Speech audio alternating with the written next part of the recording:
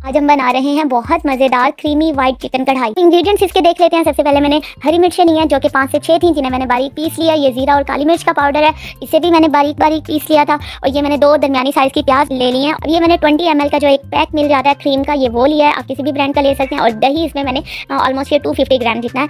और ginger garlic paste है। और इसे भी मैंने बहुत बारीक सा इस तरह से क्रश कर लिया था। अब मैंने एक कढ़ाई में मैंने ऑयल ले लिया। ये एक किलो चिकन के लिए मैंने एक कप इसमें ऑयल लिया।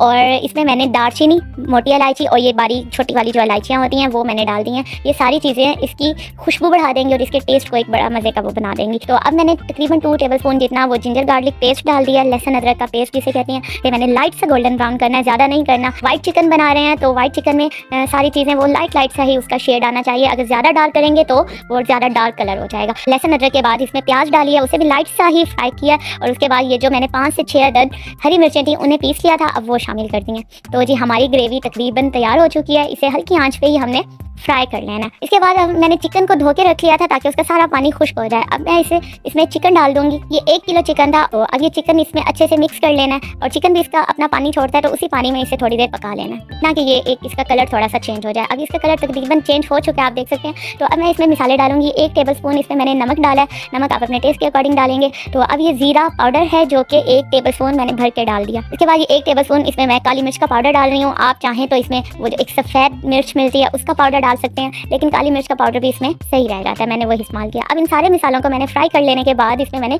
दही डाल दिया।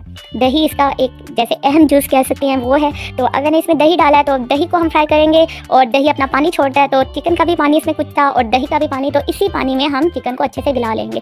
तो ये हम इसे 10 से 15 मिनट तकरीबन हमने पका लेना है। मीडियम फ्लेम है, कोई हाई फ्लेम नहीं करना ताकि ये चिकन अच्छे से गल जाए। एक्स्ट्रा पानी नहीं डाल रही मैं, यही दही का जो पानी, दही छोड़ रहा है तो वही पानी, उसी पानी में ही चिकन पक जाएगा। 10 से 15 मिनट तकरीबन इसे दम दे दिया मैंने तो अब जी चिकन तकरीबन तैयार हो चुका है। कुछ पानी है इसमें तो अब मैंने फ्लेम इसका ज़्यादा कर दिया ताकि ये पानी भी खुश्क हो जाए। चिकन तकरीबन गल चुका है, इसलिए ज़्यादा देर इसे दम पे हम नहीं दे सकते। तो मैं इसमें डाल दूँगी क्रीम क्रीम आपने इसी स्टेप पे डालनी है, इसका पानी खुश्क कर लेने के बाद। ज़्यादा भी खुश्क नहीं करना, इतना हो कि लाइट सी ग्रेवी हो। इसी स्टेप पे आप आपने क्रीम डालनी है इससे पहले और बाद में नहीं डालनी। क्योंकि इस स्टेप पे चिकन भी तैयार है, उसमें ज़्यादा पानी भी नहीं है। अब क्रीम को लाइट सा फ्राई कर लेंगे तो हमारा सालन तैयार हो जाएगा। देखिए कितना मज़े का इसकी इसकी वो क्रीमी क्रीमी सा टेक्सचर तैयार हो गया और बहुत मज़े की इसकी खुशबू है। और दूसरी बात, सबसे अहम बात कि इसमें आपने ऑयल ज़्यादा नहीं डालना, क्योंकि इसमें क्रीम डालते हैं क्रीम भी वो एक ऑयली चीज़ है तो वो भी अपना घी छोड़ देती है तो इसलिए अगर ऑयल ज़्यादा हो तो वो फिर बहुत ही ज़्यादा ऑयल हो जाता है। तो उससे अवॉइड करना है आपने तो इतना ही एक किलो चिकन में एक कप ही ऑयल बहुत है। देखें जी, अब ये क्रीम हमारा फ्राई हो चुका है और जी सालन तकरीबन तैयार है। आपने इसमें मिर्चें डालनी है।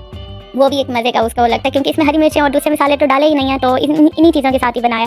तो ये अब घी इसने छोड़ दिया ऑयल इसका इसने जो था इसका, वो सारा निकल आया। इसका मतलब है कि हमारा सालन बिल्कुल तैयार हो चुका है। अब मैंने इसे डिश आउट कर दिया। इसमें मैंने मिर्चें काट के डाल दी हैं, कुछ बादाम डाल दिए हैं। बादाम भी इसमें बहुत अच्छे लगते हैं। आप चाहें तो डालें ऑप्शनल हैं ये, और अदरक मैंने डाल दिया। तो जी हमारा सालन तैयार। तो वीडियो पसंद आई है तो हमारे चैनल को सब्सक्राइब कर दें और इसके साथ साथ हमारी वीडियो को लाइक कर दें, कमेंट करें। अगर चैनल सब्सक्राइब अब किया है तो आप ज़रूर बेलाइकन प्रेस करें ताकि हमारी आने वाली वीडियोज़ आपको मिल